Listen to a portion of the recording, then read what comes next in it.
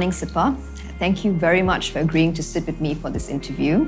Really appreciate it. Thank you, Trishila. Such an honor to be here. Privilege indeed. As you may know, this is the first in a series of interviews of maritime personalities conducted by the International Malaysian Society of Maritime Law. And it is hoped that these interviews will benefit the maritime community by allowing movers and shakers in the industry to share their wealth of knowledge and experience. Wonderful. You are an accomplished maritime lawyer, arbitrator, member of several shipping committees, a wife, a mother, and most recently, an author with the release of your book, The Arrest of the Super Yacht Equanimity. My question to you is how did it all begin? Can you tell us what led you on the path to law and, of all areas, maritime law? Trish, um, obviously, it all began with my beautiful parents. And um, uh, we are from a Ceylonese family, so very um, traditional, very protected childhood. Uh, but they valued very much and taught us integrity, faith in God, kindness, and education was very important uh, to the Ceylonese community, Sri Lankan community. And so I uh, went to school in Convent Bukit Nanas, spent 11 good years as a good convent girl. Uh, and I had fantastic role models. And, you know, the, the motto of Bukit Nanas is simple in virtue, steadfast in duty. And I think every convent girl carries that, and uh, I'm no exception. So after my Form 5 in Bukit Nanas, I went to Singapore uh, Raffles Junior College to do my A levels. And um, at that point in time, after my A levels, I was lost. I didn't know what else to do, totally unsure of um, where I should be headed.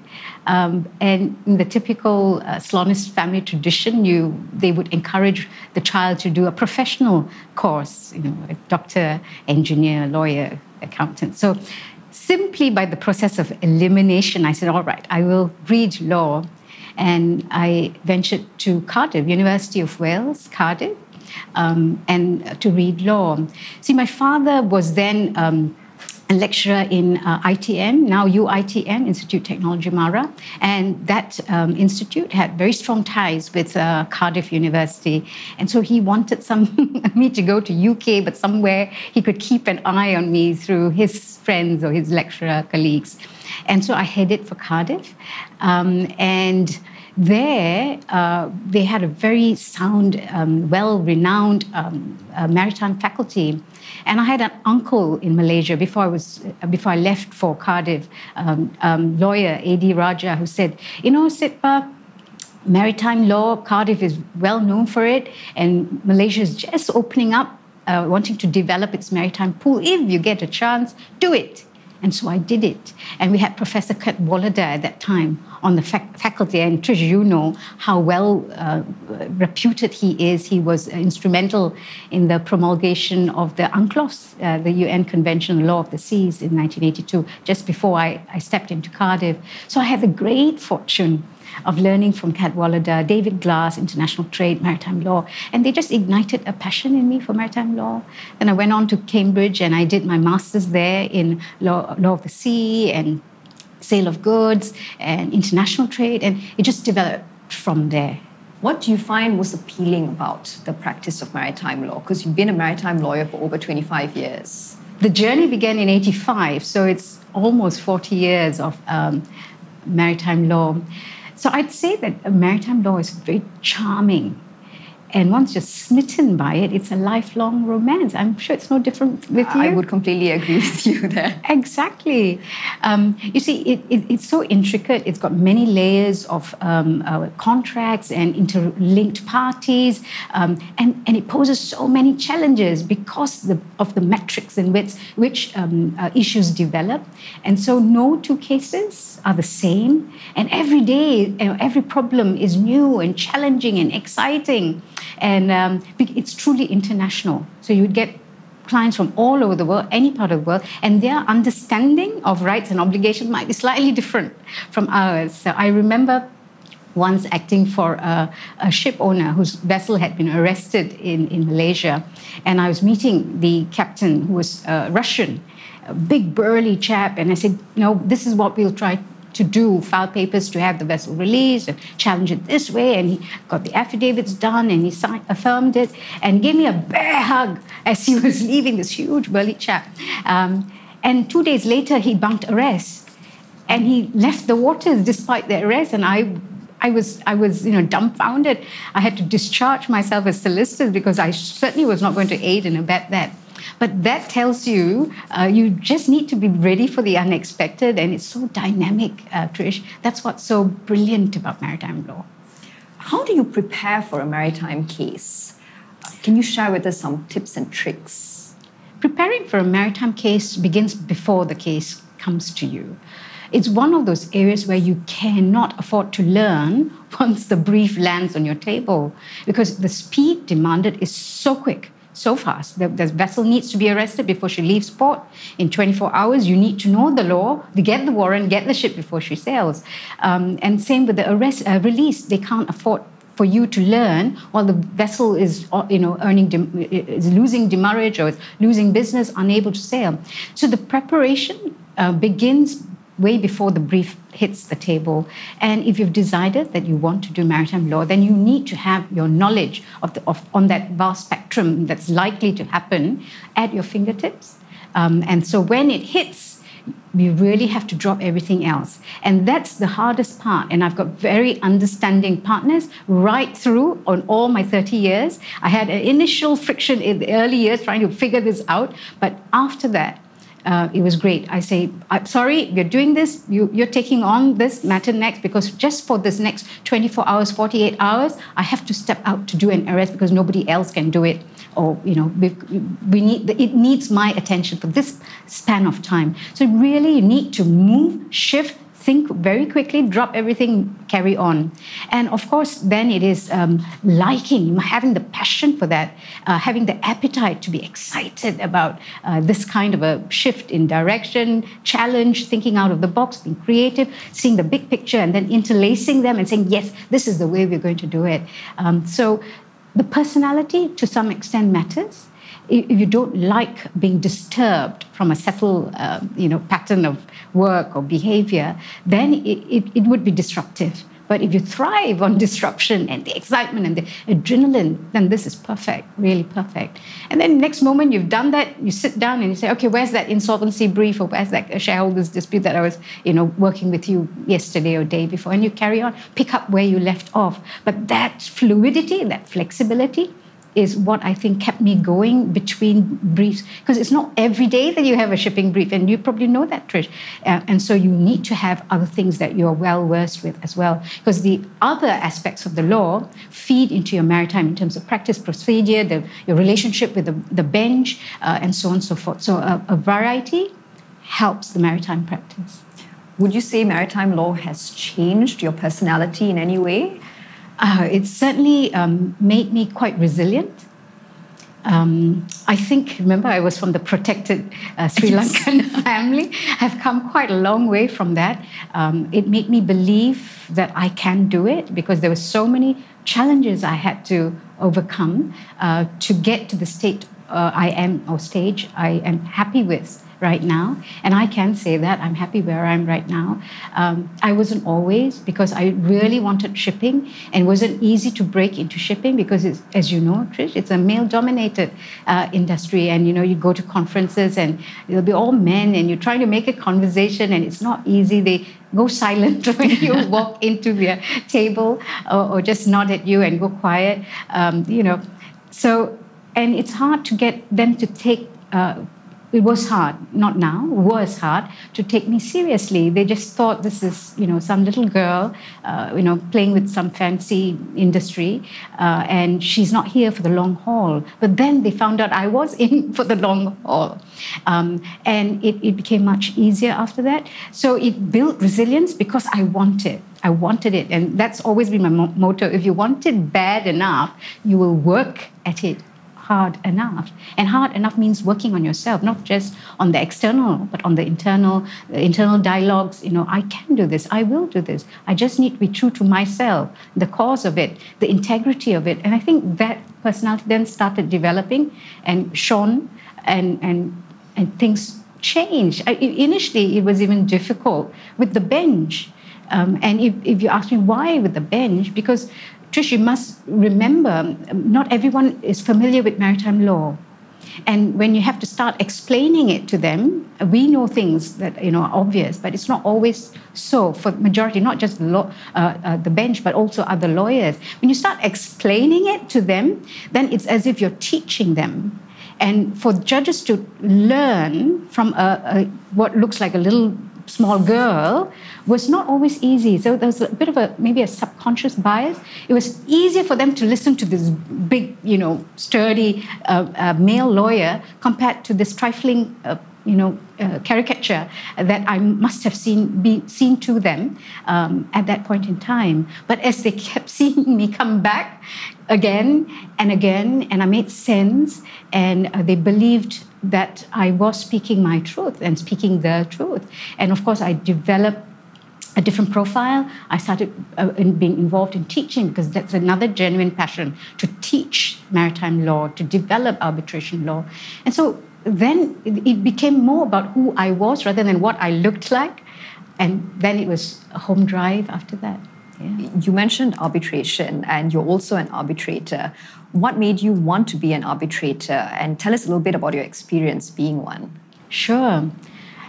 Actually, it was probably um, 15 years ago that I even thought about uh, becoming an arbitrator. Until then, it was counsel practice and very happy with the, you know, the adrenaline rush and getting into the fray. And then um, arbitration was slowly developing, and I was invited to come on to the CIArb, Chartered Institute of Arbitrator, the Malaysian chapter, onto their committee to represent the maritime industry. And as I got into that, I saw that as a, another fascinating opportunity um, to be able to decide on matters. So it gets a bit frustrating. At that point in time, Trish, we didn't have an admiralty court. So each admiralty case uh, was a, uh, had a learning curve for the judge for everyone in that room. And I thought, wouldn't it be great if I could sit in a capacity as an arbitrator to help dis- determine an issue?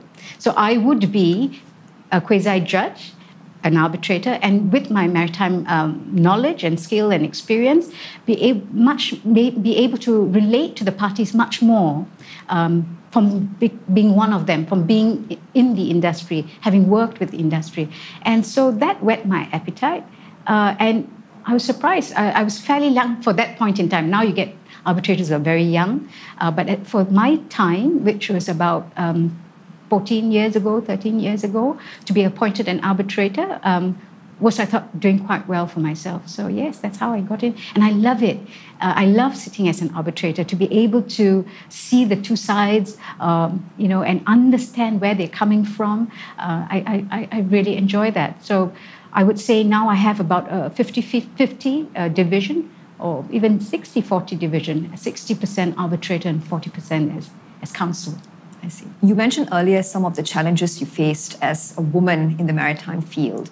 So, what advice would you have for aspiring women maritime lawyers or those who are already in the field? Trish, that's a beautiful question. Um, I would say that a lot of people are put off because they're challenging terminology. The future looks so uncertain. It looks like a you know an uphill task. I would say start from now. Uh, if you are excited by it, you really would like to do it. You know, you're inspired by it. Just take today, and each day, just do what needs to be done. So for now, just need to get the skills and your knowledge up to up to par.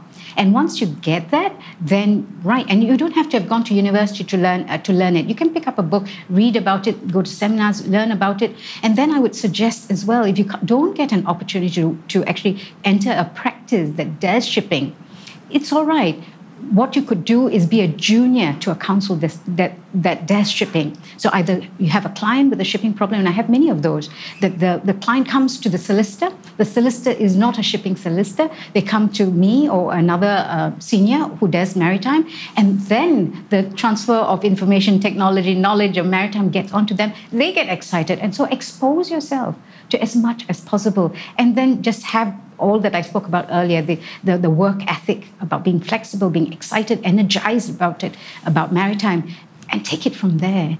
Don't stop. I have a few questions for you now on the equanimity. Um, I would say the case of your lifetime. Definitely, Trish. So, when you were first approached to arrest the equanimity, what went through your mind?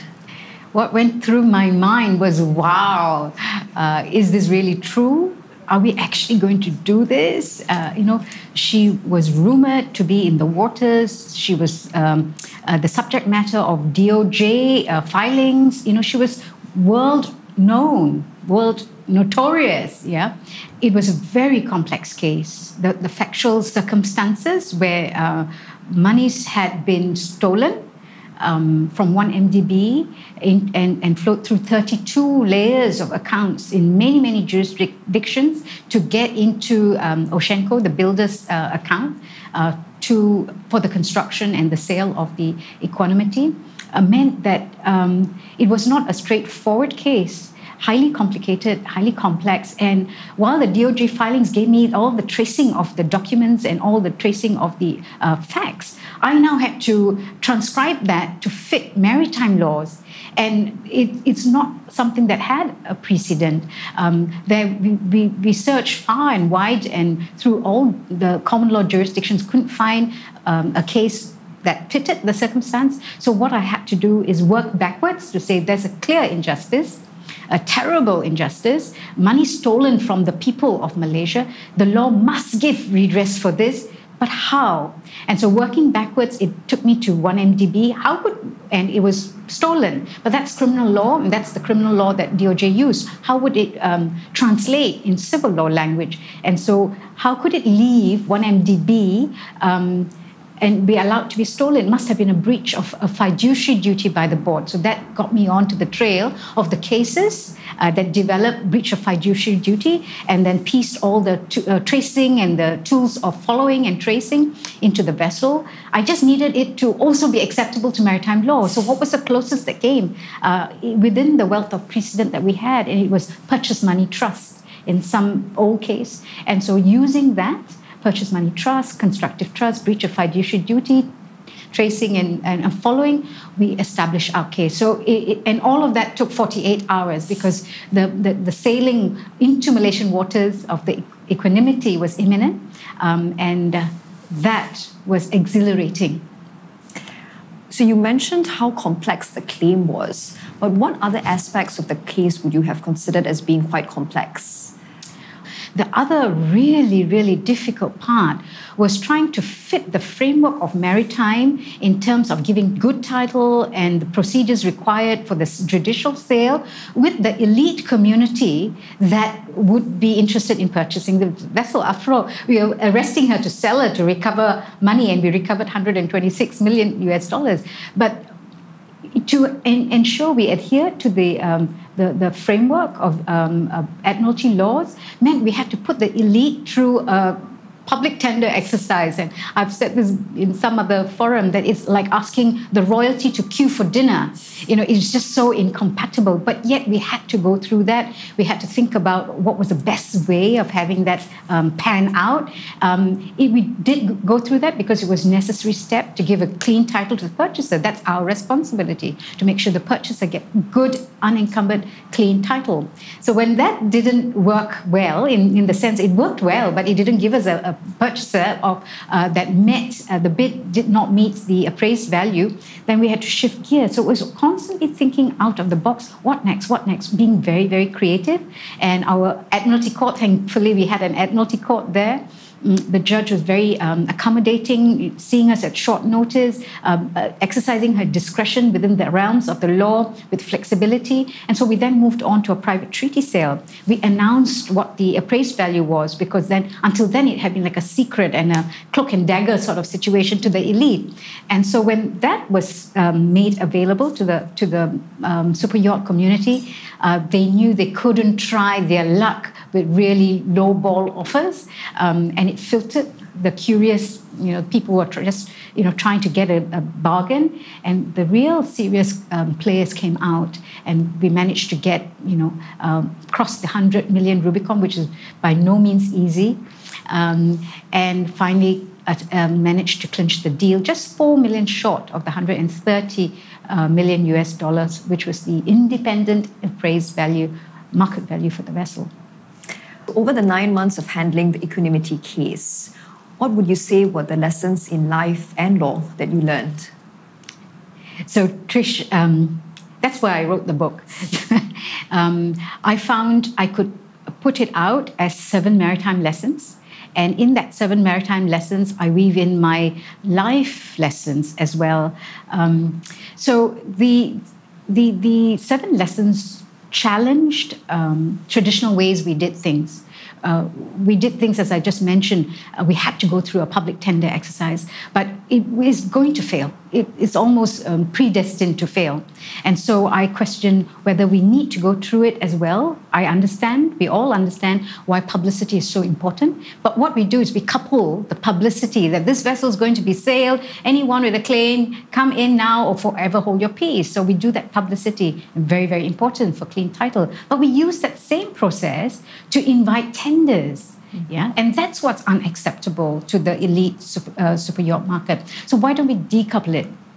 It, advertise, please, you have to, but you can decouple it. That advertisement does not have to invite the tenders. You can have a private negotiated, not predetermined, but privately negotiated sale um, running in parallel. So that would be an illustration of one of the lessons that we learned. And of course, the court can set, the Admiralty Court can set the ambit.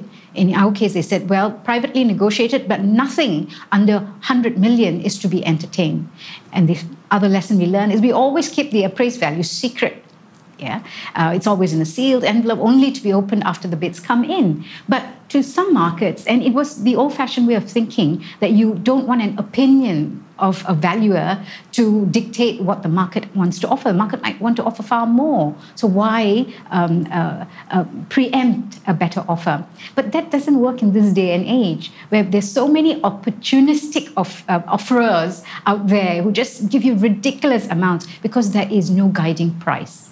So I'd say there's nothing to be lost in making it known. Like asking price is always known in any industry, especially in the super yacht industry. And then people know, all right, now this is serious money, this is a serious yacht, and I have to be with my money available before I even engage in this negotiation. So that, those are a couple of the lessons. I have seven in, in them altogether. And the life lessons if I may then go on to, yes, to elaborate on that, there were many. But I would say the, the biggest two would be to say courage. I think this whole nine months, I grew up. I grew up um, because I had to rely on myself. Um, if you're if you're not aligned inside of you to your truth of what is right and what is just then it's very difficult to be courageous. But if you are aligned, then the, the sky is the limit. You go out there and make sure what you want is obtained. And that is a, that I think is the secret recipe of success. When you're aligned with courage, integrity, success would flow. And so that was my biggest lesson. The other big lesson I learned was that we are as good as any it's you know I don't know, but I used to have it. Maybe it's my subconscious uh, dialogue that I'm still working on. Was and I certainly worked on it then. Is that you know the other people who are better than me? Maybe they can do it, or uh, another jurisdiction has more exposure. Maybe they know more. But after being exposed to so many jurisdictions and professionals from all these jurisdictions, I found that we were not wanting. As long as we were aligned in our values. We had a goal, uh, we had our skill, and we had our knowledge. We're on top of it. Ah, you're as good as anybody else. Why was it important for you to write this book on the arrest of the super yacht? There were many reasons, um, and I'm glad I did write that book. Um, you see, it was the, the, the nine months, the equanimity was the pinnacle of the Admiralty experience in Malaysia. It, the equanimity was historic. Yeah, not just in Malaysia, but everywhere. Every newspaper around the world, or just about, uh, carried that in the media, in the written media, in the visual media. So she was historic. And the success story of our Admiralty laws were portrayed through how we handled the equanimity, that we had international uh, conventions that were implemented, adopted, and implemented through this entire process. And the fact that we exercise, Malaysia exercised the rule of law was so beautifully exhibited. Um, we, we did it to such high standards that um, we could be so proud of. Why would you want to hide it under a bush? You'd write about it. And because there was no um, formal, there were orders made in court, there were applications. I thought all those applications and orders are not captured in a single written judgment uh, of the Admiralty judge.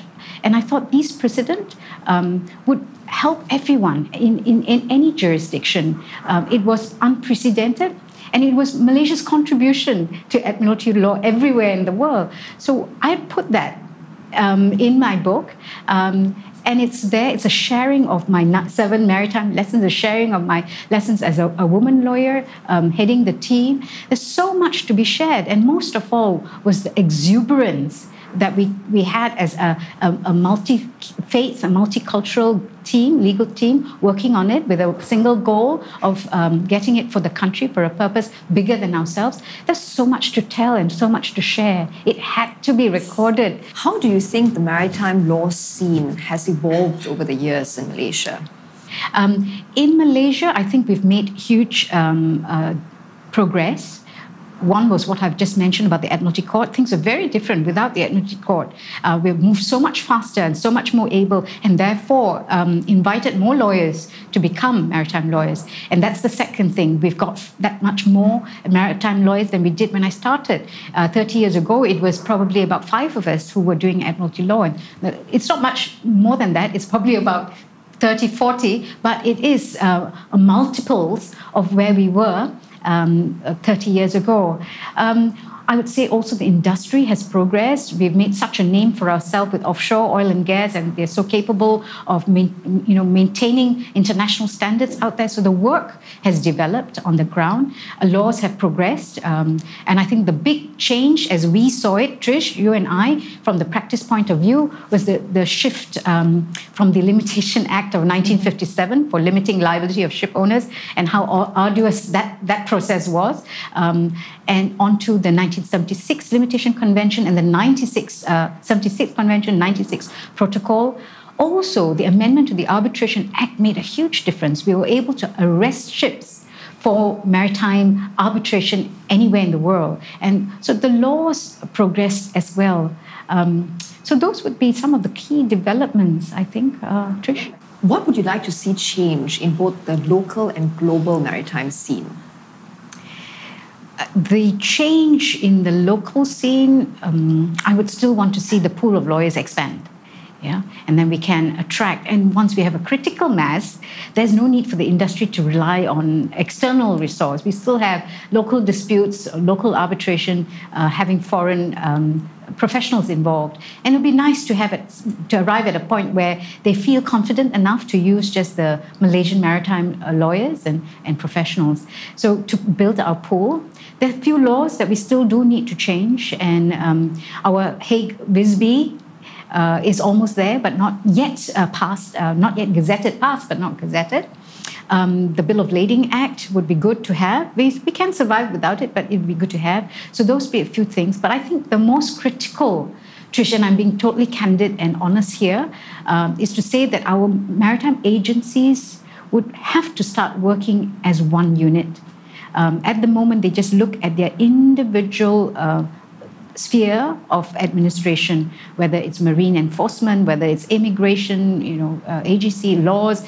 Um, customs, and you know, we have about 22 of these different uh, agencies. It's time to come together for each one to know the entire chain and how the entire process works because we don't have self standing problems. All our problems are interrelated and interdivisional.